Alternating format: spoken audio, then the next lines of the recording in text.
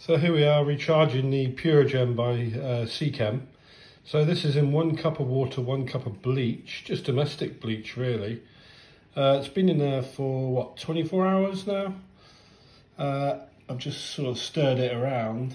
I'll show you the outcomes. So this is how you recharge your Seachem Purigen bag.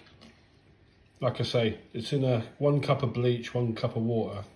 It's been in there for 24 hours. I reckon another day and that should be nice and clean and then I'll soak it. But I'll splice these two videos together and you can see what the outcome is in another 24 hours. Hi guys, welcome back to Aqua C. I've got my Christmas t-shirt on, aquascaping, must change the water. My family got a bit of amusement about buying me that one for Christmas. So uh, I thought I'd wear it in this video. So guys, if you're running with uh, Seachem Purigen in your filters, canister filters or any sort of filters for your aquariums, I just made a little sort of video of how to recharge them. Um, you'll see in the first part of the video how bad and how dirty that these were and this is how I've recharged them. This is the second time now that I've recharged these uh, particular pads. So a little blog um, basically, oh, hello. As you can see, my frogs come out on the video, look, to say hello. Must be feeding time. So these were really bad. Um, they've been in a couple of months, pretty, bra pretty brown.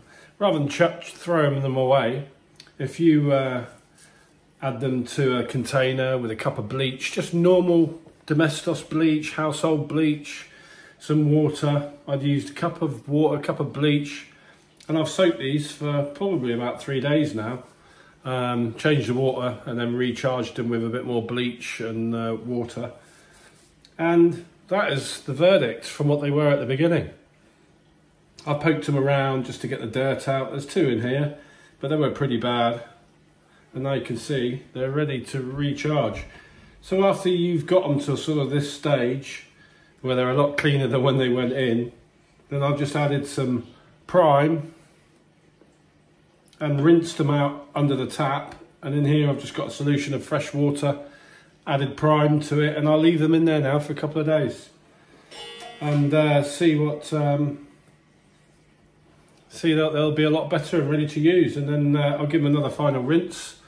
And then they'll be going back into the canister filter. So, you know, it's quite a good way of saving a bit of money if you want to, rather than going out and buying a, a whole new one. Just uh, try it, bleach them, clean them, rinse them, add some prime, and uh, put them back in your tank.